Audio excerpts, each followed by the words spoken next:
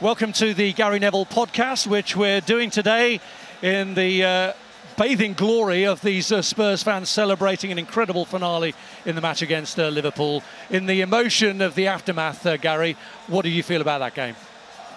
I've gone soft, Rob. Why do I feel sorry for Liverpool Football Club? I should be, I should be dancing in the air with the Tottenham fans singing about Big Ange, but there's uh, a first you, for everything. Yeah, there's just a professional side to you when you realise, you know, what obviously Matip will be going through now in the dressing room. I had to think what Jota will be going through in the dressing room and Curtis Jones. I've been sent off, not here, but the old White Hart Lane, when I was hoping my teammates would win and they drew 2-2. Tottenham came back many, many years ago. I got sent off for a second booking on David Ginola. And when that goal goes in at the end, Curtis Jones and Jota in the dressing room will be like, they'll be devastated. Matip will be devastated. And they're given so much.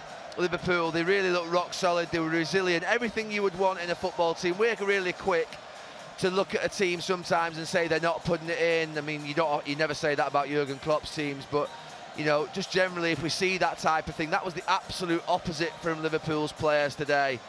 They've run their socks into the ground. Is that, is that a saying even? They've run their socks off. You've just made yeah, it one. And they've run themselves into the ground even. Um, yeah, it, honestly, Jurgen Klopp's substitutions, the way in which they defended, um, the way in which they manage the game, they look experienced. I've been critical of that Liverpool back line at times in this last 12 months for, for a team so experienced to concede goals, but actually they've only conceded five goals before this game. And obviously the big incidents in the game were the actual sendings off, but that's my immediate feeling after the game. Brilliant for Spurs. I think, you know, the manager will look at sort of how they play against maybe um, 10 men, 9 men in the future because I think there were some things that were wrong from a point of view of how to play, where to play on the pitch when you're playing against, and how to stretch the game, um, the tempo of your passing, um, the spacing in your passing. Th these things are really important. We, we, I think United were pretty good at it when I play. We had a way of playing against 10 men and 9 men. As, admittedly, it's difficult because you've got obviously you know, backs to the wall type defensive thing, but they could have done a lot better, Spurs, and they'd run out of ideas. They'd literally run out of ideas. Let's talk about the red cards then, because the Curtis Jones one in particular, I think you see differently probably as a, an ex-pro to how a referee would yeah. look at it in the black and white of the law. Look, it's one of those, the more you look at it, the more you look at it, the more you look at it, you'll think, particularly in slow motion, it's a leg breaker. My instinct at the beginning is still my instinct now, and we've spoken to a couple more pundits at half-time, both of them defenders actually, I'm not going to name them because I don't want to throw under the bus with me, um, but they both think they can see what, exactly what Curtis Jones was trying to do. That was not a lunge over the ball to break a player's leg. That was a movement towards the ball to try and sort of step over it to control it, and his foot's just slide it, slid over the top of the ball, which is greasy, and basically it then looks like he's throwing it forward because it's actually just gone into. Um, uh, Bissouma was it? Sorry, I don't, was it Bissouma? Uh, yeah, yeah, it was Bissouma. Yeah. Um, so uh, for me, not a red card. There'll be those who will swear that I'm wrong till they're blue in the I'm blue in the face that I'm wrong and it's stupid and how can you not tell that's a red card? But I honestly, from a professional perspective, I know when a play, there, there were some elbows out there today, by the way. I'm not going to name them where players were looking to do the other players. I've been there. When you do that into someone's side of the face, you know you're doing that. That's not just like if you like leveraging to go up for a ball. There are those as well, but this, there were some definitely nasty little elbows out there.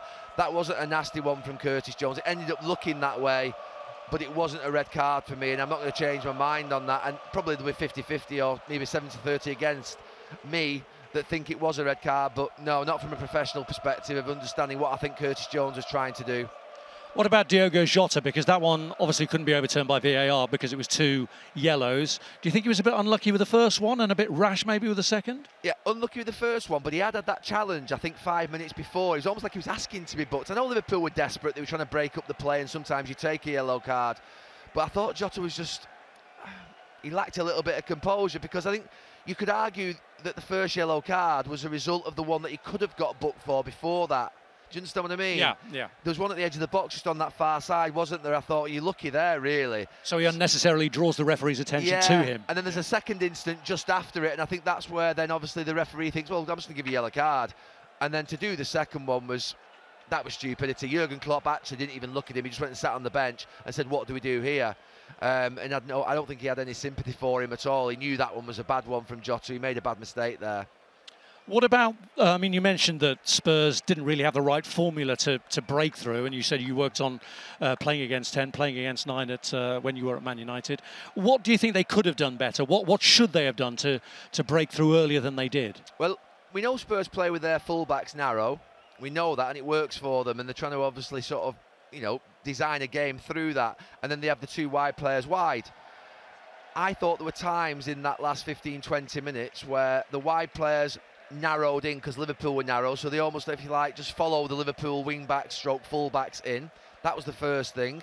And then when they got the ball wide, they actually just ran in towards them and they were waiting there, you know, packed in the sort of line of five, rather than just saying, like, come on, you draw out, you come out and close me down and get some play and try and draw them out a little bit to a side to stretch the whole team. And then you might switch it quickly back into the middle. The other thing is the, the fullbacks, I would have said, go to a more traditional system don't go in there to actually play. Go wide with your wingers and then really stretch that three in midfield. So Liverpool have a five and they have a three. So the two in there, let's say it's Udogie and Porro, you stretch yourselves wide. So you've almost got two wide on each side, which is not what Tottenham do, I know, but that should have definitely happened. That's how we used to do it. And then what you're doing then is stretching the pitch to its absolute maximum and you're swinging the Liverpool players from side to side and you're wearing the legs. But you're also hoping that you draw them over to one side, they come over, you have a bit of play over this side, might be for 10, 15 seconds, but then you pop it back in and all of a sudden you've either got the switch to the other side, which means you can get a one-on-one quickly, or you can go through the middle. So for me, they weren't working those positions and situations hard enough. Um, I think that they should have gone to a more traditional full-back position as an attacker and gone wider. The wide players should have been more patient, and then when they got it in wide areas, actually stay on the ball a little bit in wide areas longer, so that then they could push it back in. What they ended up doing was just feeding that Liverpool sort of, if you like, defence that were like this.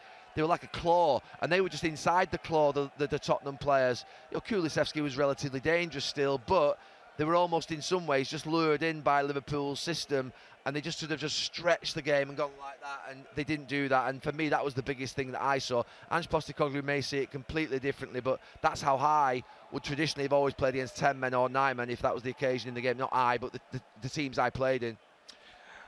But Spurs did make the breakthrough. They've uh, done it before this season, late on against uh, Sheffield United. They, is this the kind of character mentality that makes them actually look serious title contenders this season? Yeah, no, I don't think the title contenders. I think when you see the bench coming on at the end, you know they're not title contenders. I think they'll be way off that. Um, but what they are is spirited. They're more resilient than I imagined they would be. And I think I say that not really more out of today's game. I say it more out of the North London derby last week and what I saw.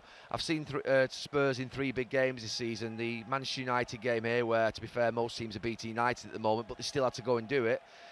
Tottenham last, uh, Arsenal last week, really good. Really impressed. Impressed by the courage to play, obviously, the patterns of play.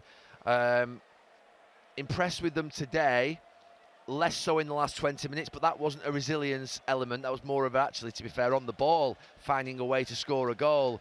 But they're in a good place and there's a spirit in the stadium there is a spirit on the pitch there is a connection between i think the way this manager is the, the players on the pitch and actually to be fair the people in the crowd, and we're not talking too much about the boardroom at Spurs as much as we would have been, obviously, in the last few years. You know, the, I mentioned at the start of the game, there was a period in the first 10 15 minutes of the game. It was a really good game, you know. You know, until Curtis Jones got sent off, I don't know what minute it was, 20 odd minutes. It was a really good game. The quality of the play was fantastic. It really was. It's the best I've seen Liverpool Spurs since Klopp v Pochettino, and I mentioned that on commentary. And they were brilliant games. That was Spurs as I would expect a good Spurs to be. Front foot, yeah, they're still getting some punches off Liverpool on the counter attack, and certainly Liverpool are dangerous. But I just thought it was a really brilliant game, and I, I, it was a shame. It was a shame that the game went to what it did. But there's no doubt there's something happening here for Spurs. It isn't always as good as it looks, and I think there'll be challenges down the line. But I think they'll have a better season than I thought they would. And are Liverpool back? Because of course Jurgen Klopp got to that tipping point in the summer where he almost knew it had to be the players who were moving or him. He's reinvented the team a little bit. Uh, what do you make of the new Liverpool? They've definitely got a spirit. They've definitely got a fight. We know that, and you know ultimately the Jurgen Klopp's teams always do. Um, I don't think, I don't think they'll challenge for the title. Is my honest opinion. Um, I think that their midfield is better and it's settled in quicker than I thought they would. But I still think there'll be some challenges that they haven't got a true holding player. Um, but I think they're in a pretty decent place, and Jurgen Klopp might not challenge for the title this season, but I think another transfer window or two, and he may just have something quite special. If Nunez, Diaz, Salah, obviously we know, Jota, Gakpo, Gravenberch we saw come on. If those players can start to sort of build something this season, they may be in a place next season where they can challenge again with one or two more additions. They aren't far away. Uh, and the goalkeeper's outstanding, and obviously I think the back four even look better today. So from that point of view, I think he'll be I think he'll be in a good place, Jurgen Klopp, from where he was obviously earlier on in the transfer window when he was wondering what was going to happen, and there was a little bit of dismay amongst Liverpool fans that they wouldn't get that those midfield players that they needed even before the match and uh, before the red cards and everything else that happened, he, he, will probably regard this as having been a missed opportunity because, of course, we had that rarest of things this weekend uh, a Manchester City defeat. And I'm sure you, you wouldn't have seen that coming at Wolves. No. No, I mean, I've got Arsenal to win the league this year, and um, just that post treble feeling, that post treble sort of like, I mean, what it will have taken out of those City players and coaching staff will be enormous, and they could easily go and win the league this season. And obviously, it's one game, but little things like that do give other clubs encouragement. And it is early. We know that City have lost games in the past, and they've gone on big, big long runs. So, you know, let's not sort of start, if you like, writing them off by any stretch of the imagination. But I think that will give a bit of encouragement, a lot of encouragement to Arsenal. I think obviously what happened in the week against Newcastle. Um, it was a serious team that Pep Guardiola took up there, and I think today at Wolves we haven't seen it yet, but they're conceding goal or two, which again they're going behind in games. They look human, um, and it'll be interesting. It'll be interesting. I still think Arsenal, if they can keep their players fit, have got a great chance this season. I really do. I think they've got a great chance. And Arsenal, who you mentioned as uh, your favourites yeah. for the title uh, this year, pressed on regardless without 4 0 win at, uh, at yeah. Bournemouth. Um, another goal for Saka and uh, a goal for Havertz, admittedly from the penalty spot, but uh, he's opened his account now. Yeah, and it's important that they get him playing. Um, he's a major signing for them, and they can't continue to keep having a cloud over him about what, what his best position is. Is he going to be on the bench? Why is he not playing well? Is he going to score a goal? I mean, to be fair, there's a couple of times I've seen them live this season where he's looked very awkward in front of goal. So I think that'll be important for him. Don't know what happened with that. We've not seen the game, have we? But we know there's two different penalty scorers, don't yeah, there? Yeah, that's right. Odegaard scored one as well. Yeah, mm-hmm. so it's quite strange um, that that's happened. We don't know why it's happened. Maybe we'll obviously find out later on. But you know, a good response from Arsenal. Obviously, you expect them to win the game.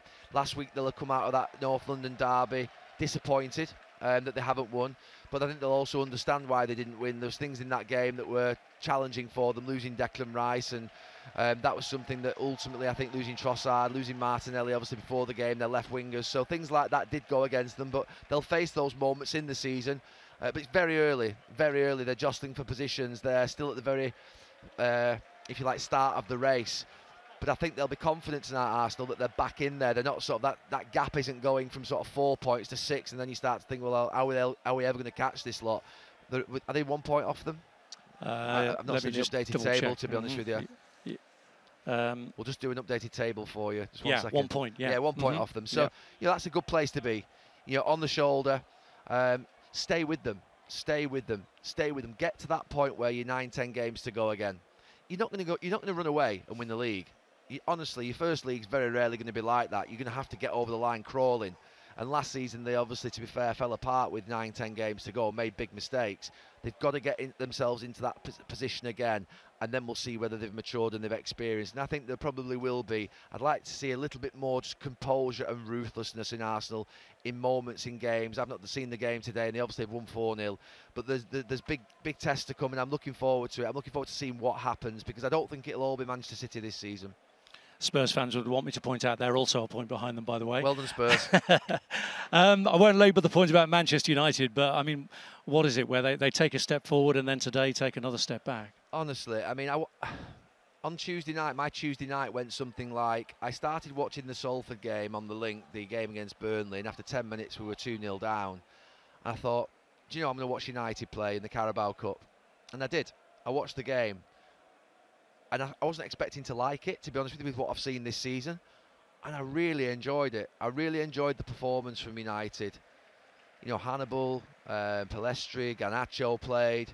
Um, Amrabat in midfield with Casemiro looked like it was something, but there was a real energy. There was some sprinting back from the wide players.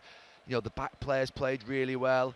And I thought, yeah, I, I, that's a likable performance. That's something I can live with. I actually tweeted out at half time, this is the best performance of the season. And I was really encouraged, not by the fact that obviously Crystal Palace left players out, the fact that it's a Carabao Cup, the fact that obviously people will say it's not the most important. I get all that.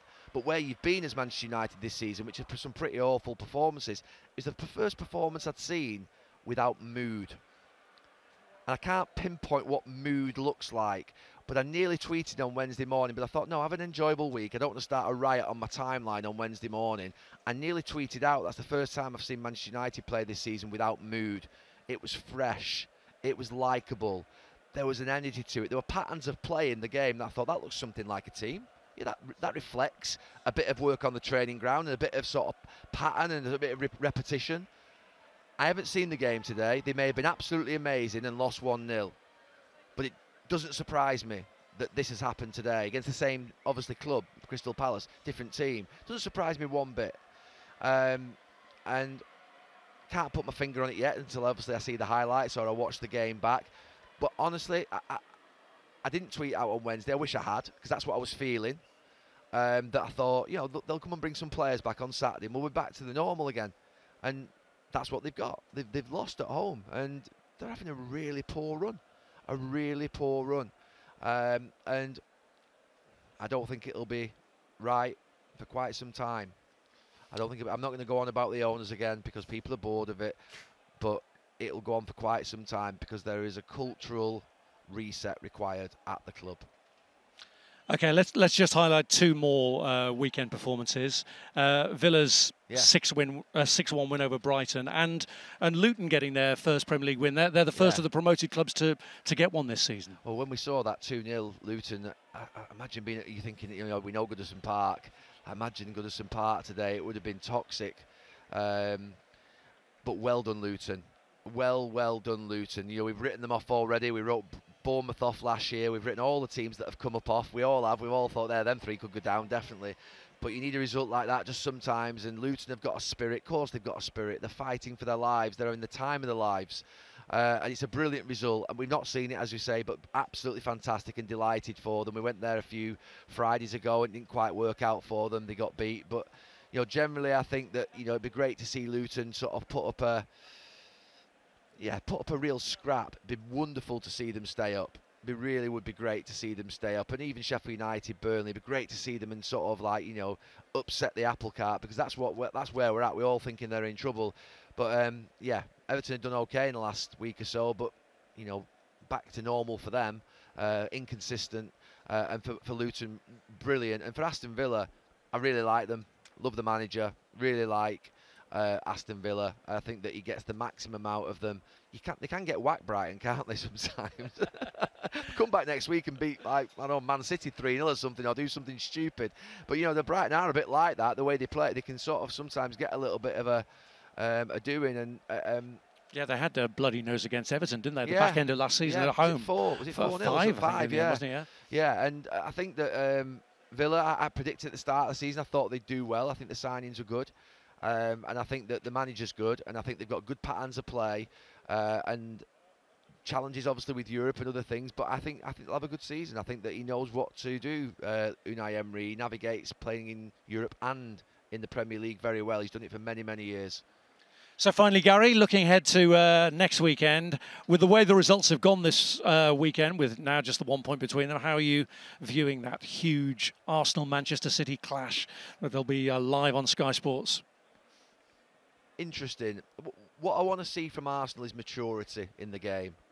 I don't want to see like a boxer coming out throwing loads of punches and looking really excited. I want to see a maturity in the game. I want to see them build a performance that's got might in it and it's got strength in it and it's clinical and it I want to see them put in a championship performance. We know they can play exhilarating football. We know they can play lot of wonderful combinations. We know they can get emotional and passionate about the game. But what I want to see is a maturity where they look at Manchester City and they don't get overawed by the occasion. They don't let things affect them. They stick to their job. They show composure in the game. through their passing and their build-up and sort of their also the defensive work. I want to see something that tells me that there is a development in the squad that will mean that you can say, right, okay, this is something that you can hang on. That's a long way to go to be anywhere near title winners, but put a performance in that tells Manchester City that this is a different team. You remember Manchester City playing in that game, sort of seven or eight games to go at the, at the Etihad, where they absolutely just beat them up, and they looked like little boys. Arsenal, that hasn't got to happen next week, and you know City will come there and they'll want to try and leave a mark on Arsenal and leave a scar as well. Not just a mark, a scar that sort of lasts in the heads and men- mentally. You've got to somehow switch that sort of mentality from one that thinks that, you know, yeah, they are better than us, they've won the treble, oh, and they're better than us again because they go and beat us next week. Uh, they've got to come away from there, Manchester City, if you're Arsenal, thinking that was a bit different, that was a bit stronger, that was a bit more sort of serious, and I think that's what Arsenal have got to do next week. Should be a great weekend. Thanks Yeah. for joining us. Thank Thanks, you. Gary. Thank you.